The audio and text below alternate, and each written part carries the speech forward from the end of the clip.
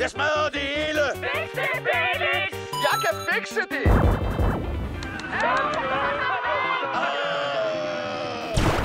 Så lukker vi. Sidste spil. Alle forlader hallen. I mere end 30 år har han haft det samme job.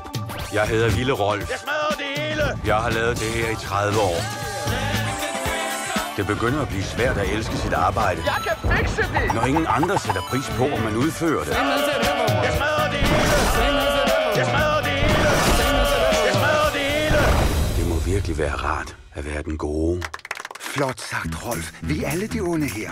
Vi har alle følt det, du føler. Jeg er Sangif, jeg er den onde. Hej, Sangif. Rolf, du er den onde. Men det betyder jo ikke, at du er ond inden i. Zombie! Den onde! Hej, zombie.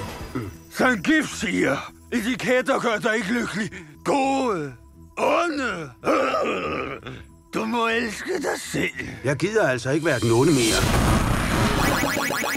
Kommer i biografen. Rolf har forladt sit spil. Hvor ham smadrefyren? Velkommen til Spilcentralen. Tog til alle spildestinationer afgår om få minutter. Nye drømme. Alt vil blive anderledes. Nu.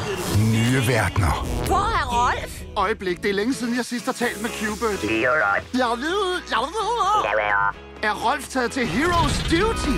Kom ud af det her spilmarker! Disney præsenterer Rolf, hopper du fra spil til spil? historien om en helt almindelig fyr, der bare gerne vil have lidt anerkendelse. Hvad hedder du? Ville Rolf. Hvorfor er dine hænder så latterligt store? Jeg ikke. Hvorfor er du så latterligt irriterende? Okay, piger. Jeres visken, tisken og kildeture stopper nu. Hvornår er videospil blevet så voldelige og uhyggelige? Er du en vagabond? Hør her, jeg prøver at være venlig. Prøv at være venlig. Du efteræber mig. Efteræber mig. Det er flabet, og den her samtale er slut. Ville Rolf kommer snart.